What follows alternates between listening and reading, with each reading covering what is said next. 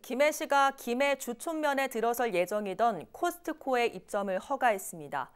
20일 오후 열린 교통영향평가 심의위원회를 통해 김해시는 개점 후 6개월부터 1년 6개월 동안 교통 모니터링을 하고 주차난이 심할 경우 주차 공간 개설을 요구한다는 조건 하에 입점을 허가했다고 밝혔습니다.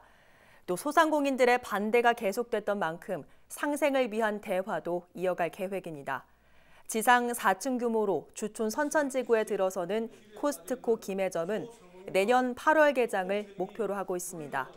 교통 영향평가 심의를 통해 주차 면수를 850대에서 927대로 늘리고 교통난 해소를 위해 진출입로를 넓혔습니다.